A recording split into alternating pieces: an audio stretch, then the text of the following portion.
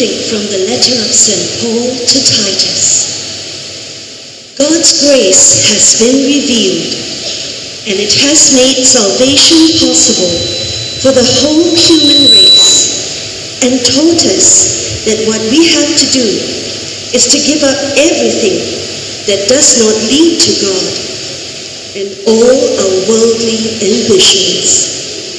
We must be self-restrained and live good and religious lives here in this present world, while we are waiting in hope for the blessing which will come with the appearing of the glory of our great God and Savior, Christ Jesus.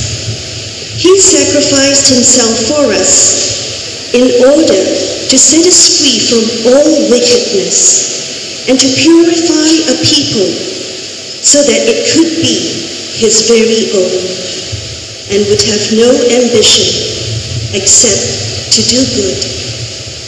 The word of the Lord.